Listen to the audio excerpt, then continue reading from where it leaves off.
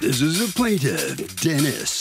He says he hired the defendant to videotape the relocation of his deceased wife's coffin from one gravesite to another. And the guy botched the job because he missed the actual coffin transfer. He wants a full refund of the $340 he paid him. And he's suing for just that.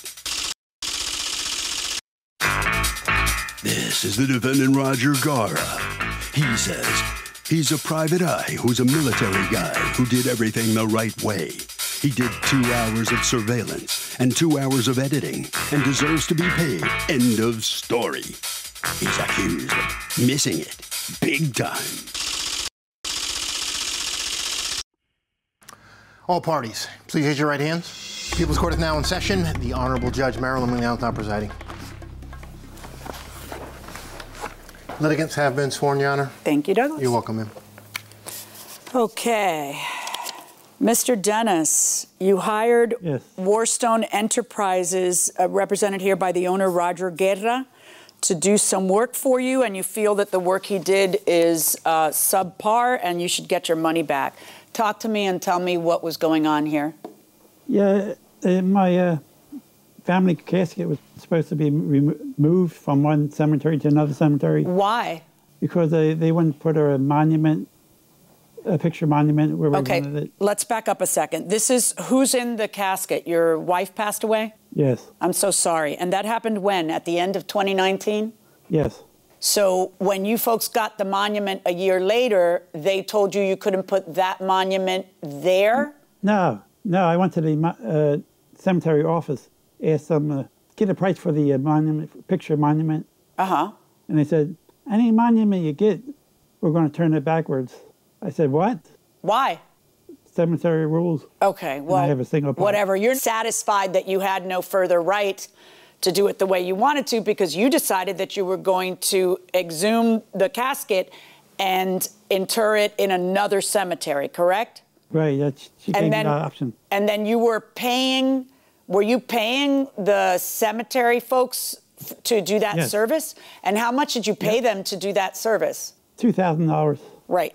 All right. So then what was the reason that you hired Mr. Guerra? I looked at it online because uh, I could watch it from everything from the uh, park across the street.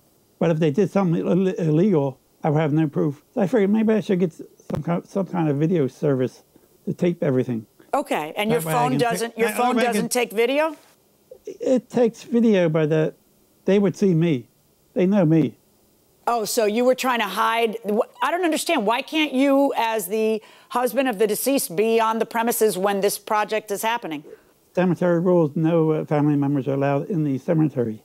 Only family members can't be there, someone else can? Only, only family members. So then, if only family members are banned, why didn't you just have someone else standing there right next to it to watch what was happening?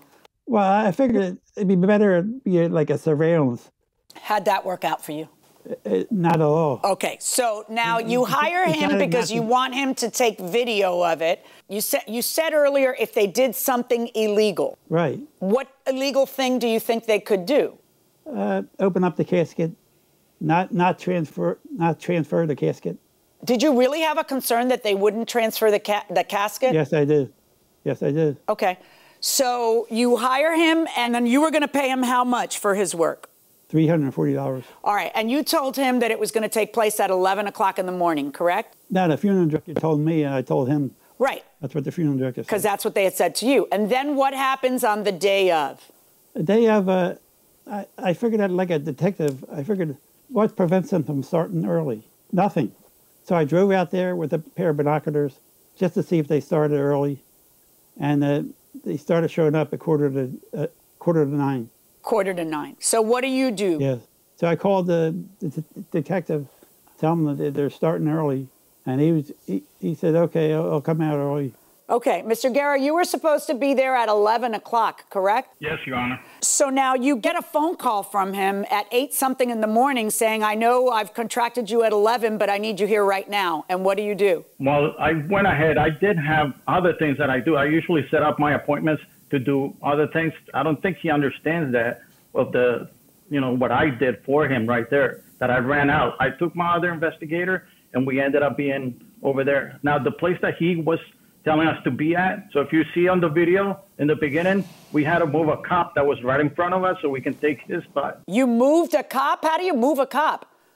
No, I didn't move him. I just asked him if he could move over So, uh, he, he was able to move out and gave us and gave us a better vision of where we were at This shows the machine literally digging. scooping up the earth to get to the to the casket. And a- oh, actually, by then it's been done, I guess, because he's throwing the chain in there, and there's a person down in there at this point. Yes, Your Honor. Okay, let's talk about this. Whose car is that that I see getting into the picture and kind of ruining things for us? So, Your Honor, there are two different people. There's a, the director and the person that, that manages the cemetery. Okay. a, What am I looking at here? Is this the other investigator's vantage point? It's my second person. Right. Now, at some point while you are there, what happens? Okay. So once they're removing the, the, the casket out, they're pulling it out. Mr. Uh, calls me up frantic, telling me to move out of there because they're gonna they're they're they're not gonna do it if if, if they see you there. Yeah, but why did that happen? Mr. Dennis, wh- uh, what happened? Did you get a call from the director saying, who's that guy taping us or something?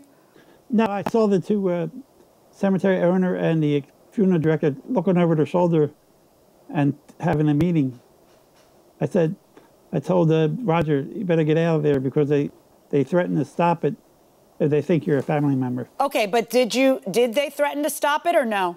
You were just worried they would? No, they threatened to stop it if they think a family member's there. Right. My question to you is did they call you and say, "Hey, have you got someone spying on us and videotaping?" They didn't say that, right? Like you were just No. thinking, "Oh, no, this doesn't look good and let's, you know, I don't want them to stop the work." No, if, if they stop, I paid it already.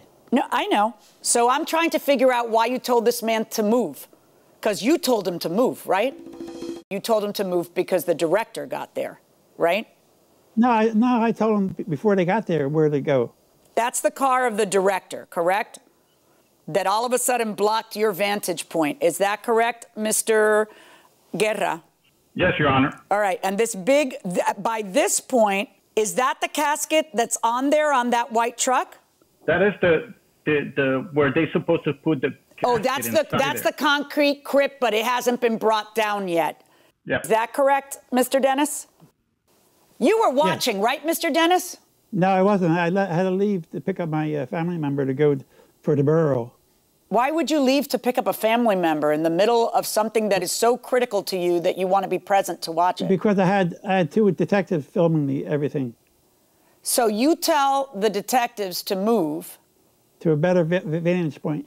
and while you're moving to the other point he wants you to be at, because by the way, let's be let's be frank, you told him to move because he was too first of all, he was blocked by that car, this car here, the tail end of which we're seeing right now.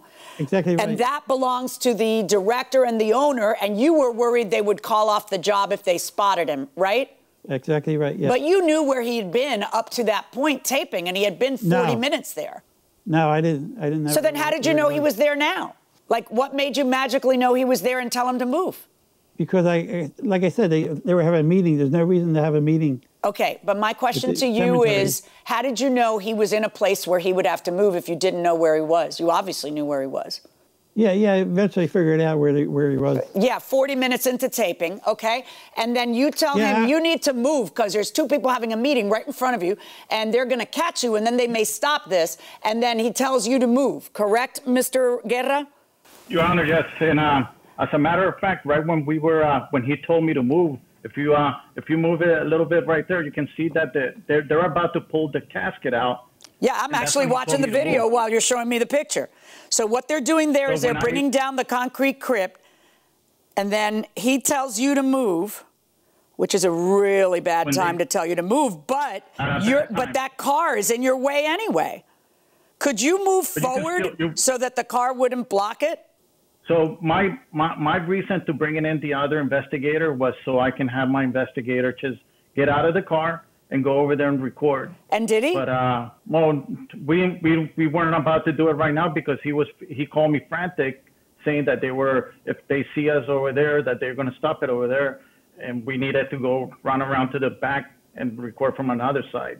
Okay, so But he did it right at the point when they were pulling the casket out. d- so he tells you to move, and when you move, it's the point, the exact point when they've, when they're actually mid process of bringing the casket out. Roger that. So this is where you've moved. So now we see you from another perspective behind a fence, and th- at this point they already have the casket inside the crypt, the concrete crypt, right?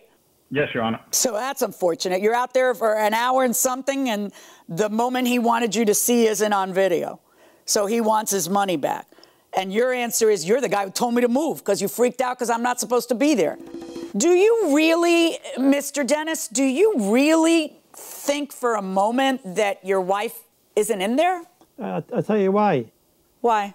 The con- concrete company bought two concrete cas- uh, ca- crypts, two concrete crypts to the uh, cemetery to move one casket Why did they have two? In case one broke, I was told. Right. So which one did they take to the cemetery? Okay, That's well, I'm looking at the show. concrete company's crypt, and there's only one casket on that. Are there supposed to be two caskets on that truck? Yes, uh, detective will, will I don't see that. another casket on that truck. I don't see another, let me rephrase it. I don't see another concrete crypt on that truck. Yes, both the uh, detective and the funeral director said they brought two concrete Is that crypts. accurate, Mr. Guerra? I didn't see the second one. I only saw one, Your Honor. Well, they've got chains around the one that's in question, right? I mean, you know, we have over an hour of video watching them do this. Why would they? You would have to believe that there's some elaborate ruse on the part of the cemetery company and the concrete company to steal your $2,000, unearth the plot, uh, go through all that sweat and trouble, and then leave the casket in there and then pretend the casket is inside the con. I mean, I understand that this is emotional and that, you know, you want to make sure it goes absolutely as planned. I might have just stayed there in that public place and watched it rather than going to give someone a ride. I'd have told them to take an Uber or get some a ride from someone else, and I might have stayed there to see it with my own eyeballs. But um, so you're on the other side when the casket comes, right? Yes, Miss- Your Honor. Mr. Dennis, are you on the other side when it arrives? No, I'm in. I'm in. I'm in the park. No, I mean when the your when your wife's body was brought to the second cemetery site. Were you there? No, I wasn't. So did they put her in the ground without you there? They put it put her in the ground before before we got there.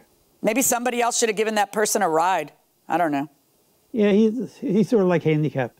I understand, but there are still other options besides you leaving if this was so important.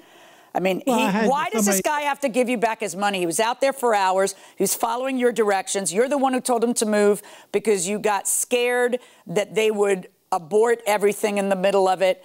He moved only because you told him to move. So if he missed that one second that was the most critical second, why did you, you know, it's your fault. He moved and missed it. So how is it he should pay you back the money you paid him? I paid him to videotape the uh, casket move. Right, There but you told him to move at that moment. So Oh, he videotaped it from the beginning to the end, except for the mo- one moment he was moving. And the only reason he moved wasn't because he had an itch to move, it's because you told him to. So why would he have to refund your money? Hold on. The video tape he, sh- he gave me three videotapes. None had uh, the, the video that you, sh- you saw. Oh, did you see the video I just saw now, though? And that's a new Never. video? That's first time. That's the first. That's new And- video. Okay, and what did you see in that video? I seen that he, was at a different spot. Right, but w- are you satisfied with what you saw in that video? Does that give you comfort? Uh, it doesn't give me comfort because there's two concrete grips. So which one was? Uh, Maybe the one with the chains on it. That's the only thing he can see anyway. He's showing video of the one with the chains on it. Um, look, you know, when someone tells me, no, you can't, my immediate response is, and who's going to stop me? You and what army? Because I don't, I don't understand why they would say that you can't be there um, or that you can't send a surrogate to be there and witness the whole thing soup to nuts out in the open. Um, I don't get it because having someone you love moved is a traumatic thing. And there should be someone, you should be able to have someone there watching it, right there, standing right there and watching it. I remember when I was giving birth, I was told, the hospital told us that we could not videotape the birth. I'm like, excuse me? well, no, that's the hospital rules. I'm like, I don't think so. So I made sure that the godmother of my child, who was in the room, had her phone up and was videoing. I beg you, but you're not going to tell me I can't.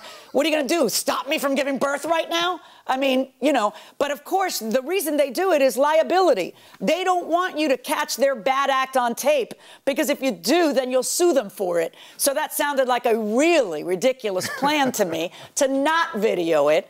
Um, so we videoed it. But you know, I, I got to tell you, if your complaint is, I paid you $340 to be there at 11, and I changed it on you, and you made yourself available at 8:30, but I don't care. I demand that of you, and then listen, hurry up, move from where you are, because if they catch you there, they're going to stop you, and then you move, and then that's what you've missed.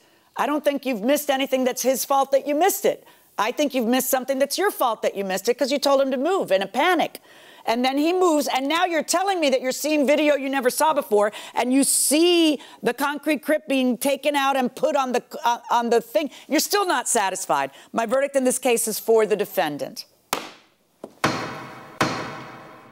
Dennis, what's what are you thinking right now? You heard the judge; she found against you. Uh, how do you feel? I, I just can't believe it. I, that video that they showed is different from the video that I was sent from the detectives. Are you convinced that your wife has been successfully transferred from one cemetery to the other? Or are you still doubt it? Uh, I have 10% doubt. You still have doubt. Well, I don't know. What, what are you going to do to, to be comfortable at, at, at long last? Well, I was getting the price for uh, digging up the uh, concrete vault. A little, a little high. Are you are you seriously thinking of digging her up again now from the in the new cemetery? Yeah, just to take off just lift the lid just to make sure. Just to take a quick look? Wow. That's it. You're hard to convince. Well, look, that's uh, that's a whole other issue, but that's that's pretty fascinating that you're thinking about doing that. Anyway, uh, unfortunately, you lost this lawsuit, Mr. Guerra. How do you feel about it? The judge found for you. How do you feel about that? Well, more important than anything else, I'm not really trying to make uh, Mr. Uh, the plaintiff feel bad for himself or I just don't think he understands what really happened. I don't think he understood that it was all his fault by not keeping me there, and then we could have recorded everything on that spot. All right. So, do you think the, uh, the his wife was successfully moved? Do you believe it, or, or are you in doubt too? I believe it. I believe that she was successfully moved. I just think that Mr. Uh, the plaintiff is having, uh, you know, sorrows for his wife. He's just not right in the head right now. So maybe you know he'll uh, he'll eventually understand and, and stop grieving too much. All right, Harvey. Let's see what Harvey thinks about this. So, Doug, here's the situation.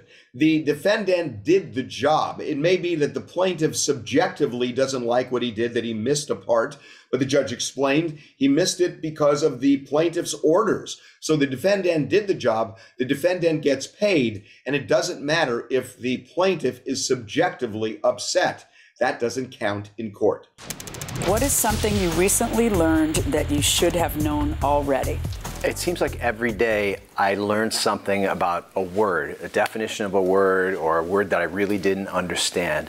And lawyers tend to think of themselves as wordsmiths, some of them, you know, because that's their stock in trade. You know, you're drafting contracts, you're making arguments in front of the court, you better know the meaning of the things you're talking about. Plus, you were an English major. I was an English major, yes. But uh, this word came up the other day and I learned something about it that I'd never heard before. The word is loophole.